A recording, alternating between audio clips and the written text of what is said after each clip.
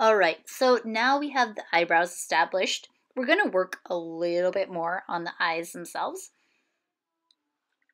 as well as some of the other features. So I'm looking for shadow shapes, you guys.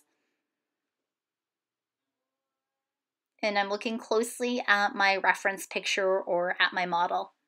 And remember, this person has a scrunched up face, like they're crying. So I have to remind myself that too. And you can see I'm going really light. I also want you to notice how far back I'm holding my pencil. And I am shading kind of back and forth, but I'm careful not to leave gaps in my shading. You can see the picture to the left and I'm looking for any shadow area and I'm lightly filling in all those shadow shapes. So really, you should first identify where the light's coming from.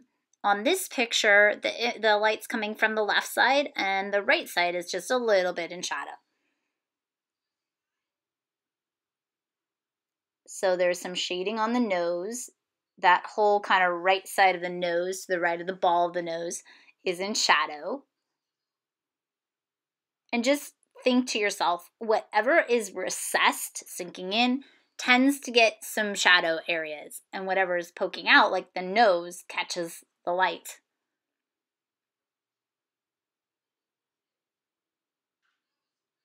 And right now, I'm not like obsessed about making it a perfect likeness. I'm going to work on that as I go. What I care most about from you is that the proportions are accurate.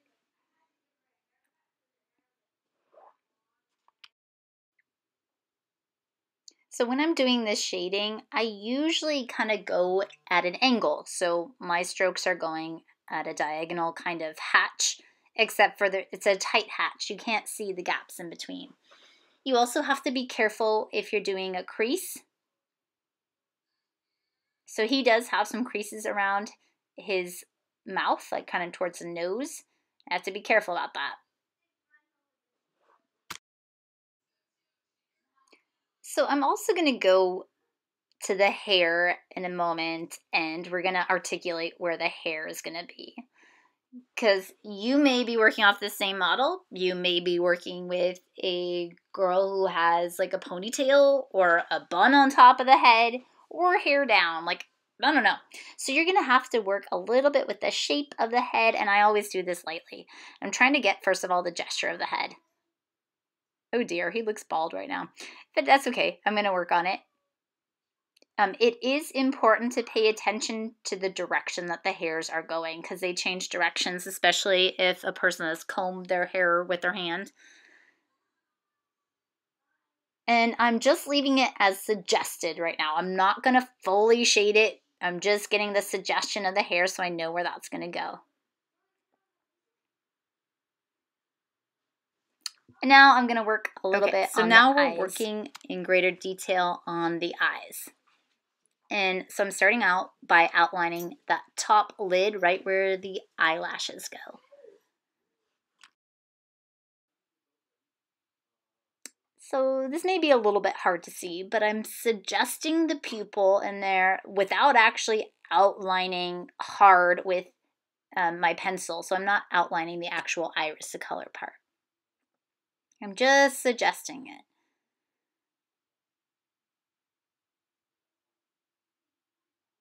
And on this picture, the white of the eyes aren't white.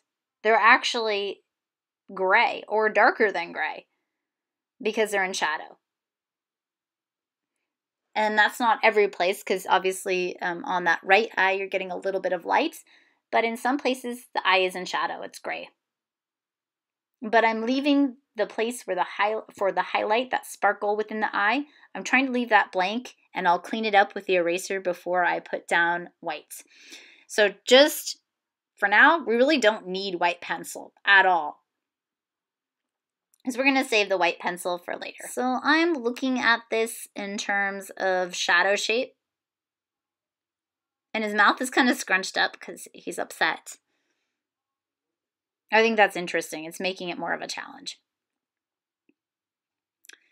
And now I'm going into the right side of the face because there's a form shadow. And just to remind you, form shadows are gradual, soft shadows. So they slowly turn away from the light and progressively get darker the farther away from the light they get. So I'm trying to put in a form shadow there. And it looks like I may have to bring in the jawline a little bit. The width of the face is looking a little too wide, but that's okay, I'll fix it.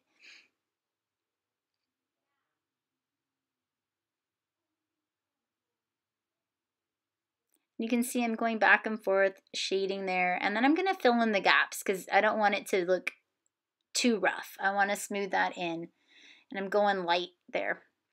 I'm actually going much lighter than I think I'll need to go in case I need to move something.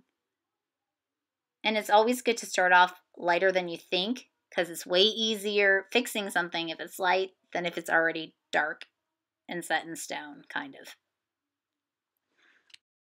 important that you compare the shadow shapes in your picture. Like there's a little shadow underneath that bottom lip there. So if you have time, this is what I want you to do. Work on those shadow areas. You can even do it in the hair because there should be some shadows there as well. And on the face, on the neck, anywhere you see a shadow, get that shadow shape in there, but do it a lot lighter than you think it'll need to go and then I want you to submit for a final time.